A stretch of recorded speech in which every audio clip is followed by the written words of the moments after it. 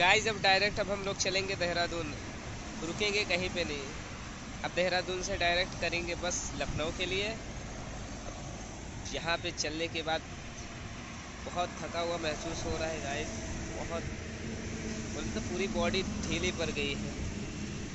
और ये रहे हमारे दद्दा।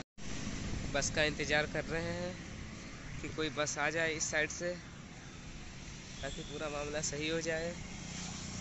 ये भी बहुत थके हुए लग रहे हैं, मगर क्या कर सकते हैं? अब यहाँ से चलते हैं डायरेक्ट देहरादून।